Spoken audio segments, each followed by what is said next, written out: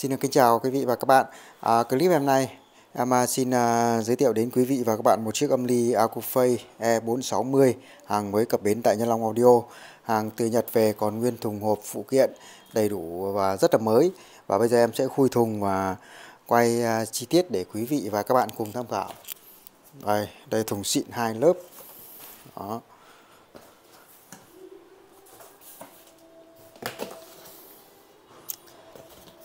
Tất cả những dòng thùng xịn thì đều sẽ có hai cái lớp thùng như này. Đó và đây là một cái à, cái tấm à, bìa cắt tông. Và đây là cái hộp phụ kiện. Đó hộp phụ kiện theo à, theo máy. Đó hộp phụ kiện theo máy.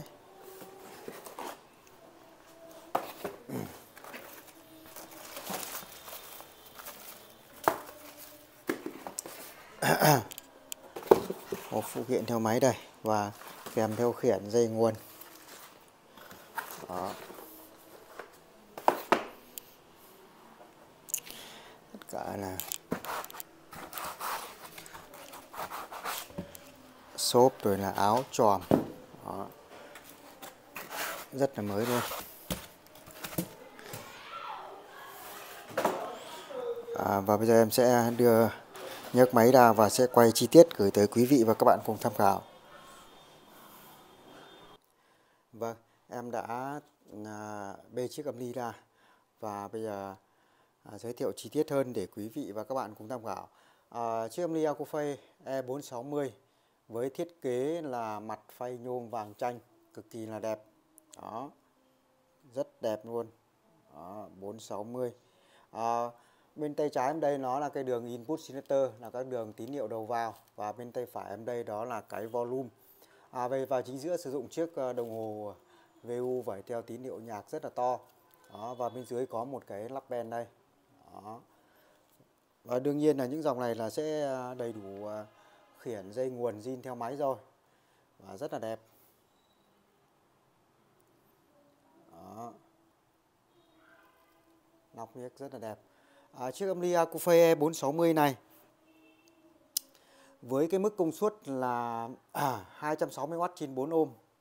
Đó, 260W trên 4 ohm và 220W trên ờ, 6 ohm và 180W trên ờ, 8 ohm.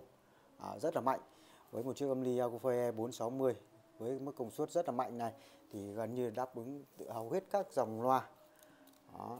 đây là hai bên là hai cái hồi ờ, hồi hồi hồi kim loại và sơn tĩnh điện màu ghi. Đó. Sẽ quay chi tiết để các bác cùng à, tham khảo. Những chiếc âm ly này về thì là hàng à, chưa dùng tại Việt Nam.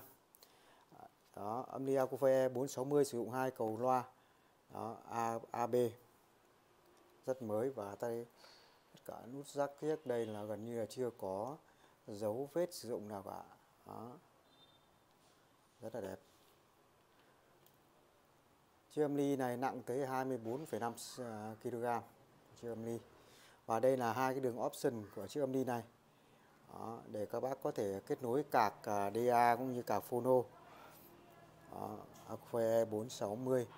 À, e công suất tiêu thụ điện năng là 440W và điện 100V. Đó. Chiếc âm ly này rất là mới.